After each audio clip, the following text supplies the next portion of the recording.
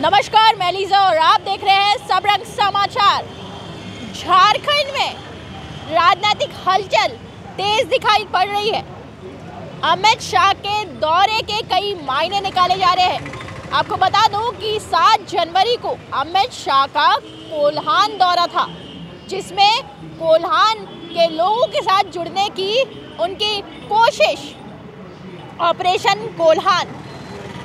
और अब चार फरवरी को संथाल का दौरा, देवघर में ये अमित शाह का दौरा। कई मायने इसके भी निकाले जा रहे हैं कि 2024 की चुनावी रणनीति, चुनावी तैयारी, चुनाव का बिगुल फूकने के लिए आ रहे हैं अमित शाह। लोकसभा सीटों की अगर बात की जाए तो 12 सीटें हैं एनडीए के पास और दो सीटें हैं यूपीए के पास। चंद्र प्रकाश चौधरी, आजसू की एक सीट 11 सीट बीजेपी के पास और एक जेएमएम और एक कांग्रेस के पास। कुल मिला के 14 सीट। और इन 14 सीटों पे कमल का फूल खिलाने की तैयारी चल रही है। इसी तैयारी में अमित शाह के दौरे को जोड़ा जा रहा है। बता दूँ कि कोल्हान और संथाल दोनों ही जगह बीजेपी का जो वर्चस्व है, वो कम हुआ है। बीजेपी कहीं ना कहीं इन दोनों जगह पे कमज़ोर है।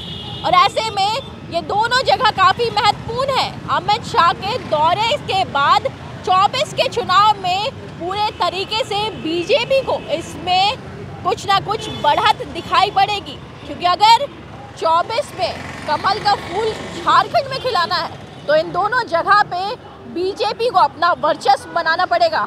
अभी ये जीएमएम का गढ़ है और ऐसे में बहुत ही मुश्किलों का सामना करना पड़ेगा बीजेपी को। अगर इस ऑपरेशन कोल्हान और संथाल में अमित शाह कामयाब होते हैं तो बीजेपी को 2024 में चुनाव में बढ़त मिलेगी और कमल का फूल खिलाने में आसानी होगी। तो वहीं दूसरी तरफ़ जेएमएम पार्टी पूरे तरीके से आदिवासी कार्ड खेलने को तैयार है। आदिवासी कार्ड इस तरीके से कि झारखंड की जनता के बीच झारखंड के अहम मुद्दों को लेकर के जाने की कवायद जारी है। और ऐसे में आपको बता दूँ कि ये कोशिश कितनी सफल होगी, कितनी कारगर होगी, ये देखने वाली बात है। 1932 का मामला उठा करके जनता के बीच जाने की कवायद। वहीं आदिवासी वोटर्स को अपनी ओर करने की कवायद। मतलब पूरे तरीके से ये संग्राम आइए सुनते हैं इन अमित शाह के दौरे पे क्या कहना है कांग्रेस का। किस रूप में देखती है कांग्रेस अमित शाह के संथाल दौरे को? बुल्हान के बाद संथाल दौरा अमित शाह का। इसे कांग्रेस किस रूप में देखती है? जानते हैं। संथाल दौरा हो रहा है कोल्हान और अब संथाल। अमित शाह का कहीं ना कहीं दिखाई पड़ रहा है कि 24 की तैयारी। देखिए वो देश के गृह मंत्री हैं वो किसी भी राज्य में आने के लिए किसी भी राज्य में जाने के लिए वो स्वतंत्र हैं। और इसी कड़ी में वो झारखंड भी आए हैं और फिर आ रहे हैं।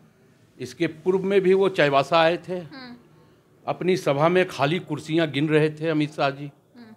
तो संथाल में फिर वो अपनी सभा में खाली कुर्सियाँ गिनेंगे। जनता तो भारतीय जनता पार्टी को पूरी तरह एक सिरे से नकारने का काम किया। है आप देखें कि आम बजट में भी महँगाई कैसे कम हो, लोगों को गैस सिलेंडर कैसे सात सौ रुपये में मिले, बेरोजगारी कैसे ख़त्म हो, देश की अर्थव्यवस्था कैसे मज़बूत हो, इस पर तो कोई फोकस नहीं है। सिर्फ़ जुमला है, षडयंत्र है। तो ये हिंदुस्तान और राज्य की जनता काफ़ी संवेदनशील है।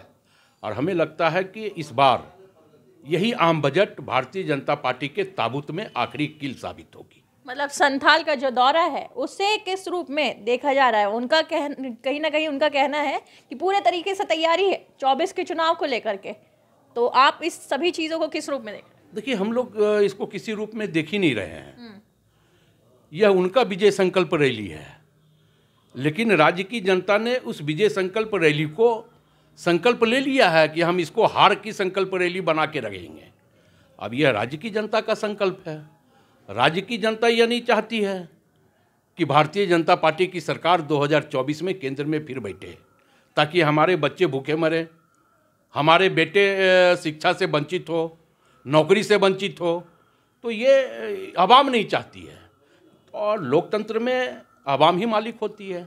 तो जब मालिक ने यह फैसला ले लिया है कि भारतीय जनता पार्टी के अब छल प्रपंच प्रोपगंडा में हम नहीं फंसने वाले हैं तो अब चाहे अमित शाह जी आ जाए या देश के प्रधानमंत्री नरेंद्र मोदी जी आ जाए, दुग्गी पे दुग्गी हो या हो सत्ते पे सत्ता, कोई फ़र्क नहीं अलबत्ता, कोई फ़र्क नहीं है हमें। कांग्रेस का इधर कहना है कि जिस तरीके से चाईबासा में खाली कुर्सियाँ गिनती हुई दिखाई पड़ी बीजेपी को इसी तरीके से संथाल में भी दिखाई पड़ेगा। लेकिन क्या सचमुच ये ऑपरेशन संथाल सफल हो पाएगा?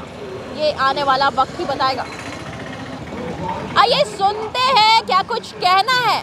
बीजेपी का किस रूप में देख रही है? अमित शाह के संथाल दौरे को बीजेपी। रतुल जी, कोल्हान के बाद संथाल। अमित शाह का दौरा। क्या इसे 2024 के चुनाव की नींव मानी जाए?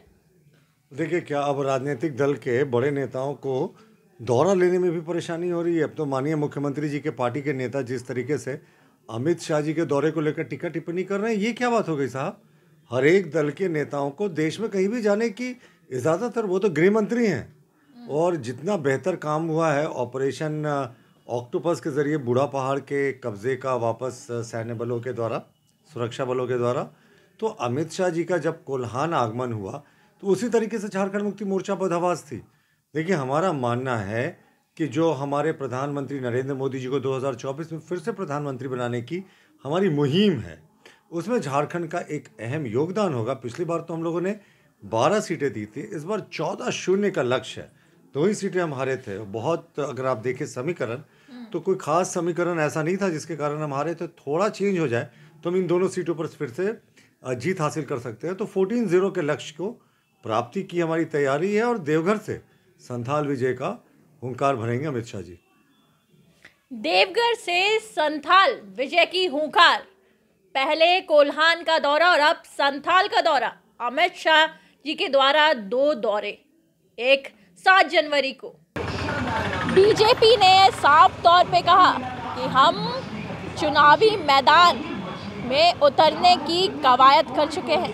पूरे तरीके से झारखंड में जो लोकसभा की चौदह सीटें हैं, अभी बीजेपी, एनडीए बारह सीटों पे है, एक जेएमएम पे है और साथ ही साथ एक कांग्रेस पे है। और ऐसे में पूरे चौदह शून्य का मुकाबला करने की तैयारी है बीजेपी की तरफ़ से।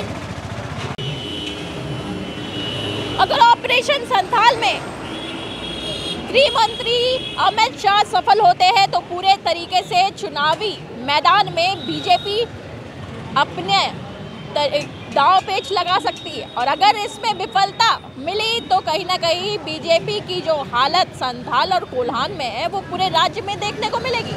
और ऐसे में दोनों ही पार्टी अपने तरफ़ से पूरी ताकत, एड़ी चोटी झोंकने के लिए तैयार है। झारखंड की जनता इन सभी चीज़ों को किस रूप में लेगी, ये आने वाले दिनों में देखने वाली बात होगी। किसकी होगी जीत और किसकी होगी हार, ये देखने वाली बात होगी, लेकिन अभी चुनावी बिगुल फूकता हुआ नज़र आ रहा है। ऐसी तमाम खबरों के लिए बने रहे सबरंग समाचार के साथ। कैमरा पर्सन दीपक के साथ लीजा सबरंग समाचार।